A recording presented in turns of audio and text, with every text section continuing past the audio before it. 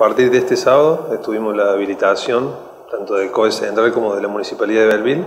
para poder habilitar esas dos disciplinas, tanto en tenis como en ciclismo. Si bien no llovió, pero las condiciones climáticas fueron un poquito adversas por el frío y por el viento, pero bien, hay mucha gente que tenía ganas de volver.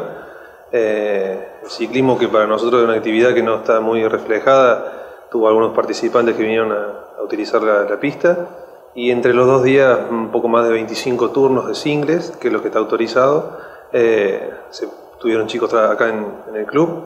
Eh, en principio la autorización era de las 7 de la mañana hasta la 1 del mediodía.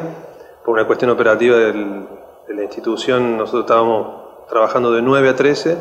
y después en las últimas horas del día viernes lo, extendieron hasta las 18 horas, pero a partir de las 8. Uno cree que, esto que esta, línea que ha bajado el COE central viene a consecuencia de que son las primeras aperturas hacia las distintas disciplinas, que es esta primera fase, que es una prueba que ellos hacen para que la gente empiece a tener un poco de, esparcimiento de actividad, de acuerdo a las condiciones de salud, obviamente, y de sanidad. Eh, la gente con, muchas ganas de venir, porque a pesar del frío vinieron lo mismo, y uno entiende que a lo largo de esta semana habiendo extendido la jornada, en el caso del club de 9-18, eh, se va a sumar más gente para, el tenis y, también creemos que se va a empezar a hacer extensivo a otras disciplinas. Eh, ¿Tenés alguna información de qué otra disciplina puede ser?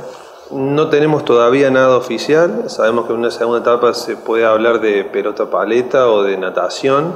pero todavía, o al aire libre, actividad al aire libre. Incluso hemos tenido contacto con la Federación de, de Baja de la provincia de Córdoba, donde se han presentado protocolos, pero todavía oficial no tenemos nada. Y a nivel institucional fue un impacto muy grande. Nosotros teníamos, estábamos participando de dos torneos nacionales con fútbol y con básquet. Tuvimos que darlos de baja eh, y empezar a pensar para adelante cómo se va a ir, porque hace 60 días que no, no se trabaja en ninguna disciplina.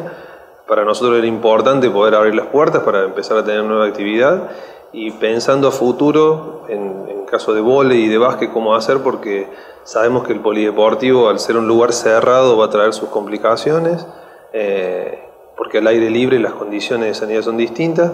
pero esperando eh, que el gobierno baje la línea, siempre respetando, sabiendo que la prioridad es la salud. Desde la institución eh, nosotros estamos trabajando, la administración en forma parcial también trabaja y a nivel de comisión directiva pensando en eso, en, tener la posibilidad de cuanto antes volver